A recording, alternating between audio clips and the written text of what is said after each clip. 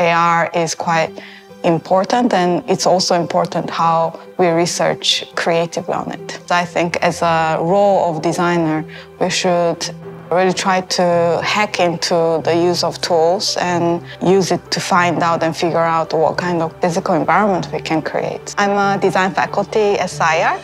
I'm also a robotic researcher. We are in Los Angeles, SCI-Arc Gallery. My previous few years of research as well as this project is a part of my interest really looking at different human roles in construction process. I think by learning how material behaves and what is the limitations and uh, what is the possibilities of the making and assembling process and we can really push our design to our limit.